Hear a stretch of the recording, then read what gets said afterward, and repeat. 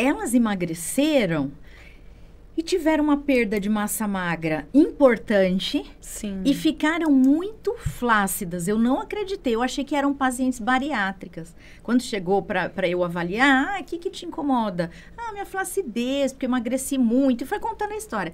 Eu fui Sim. fazer avaliação física, notei uma perda de massa magra importante, uma flacidez. Aí eu perguntei, mas você fez cirurgia bariátrica, né? Quantos Sim. quilos você perdeu? Aí me disse, não, eu usei a canetinha.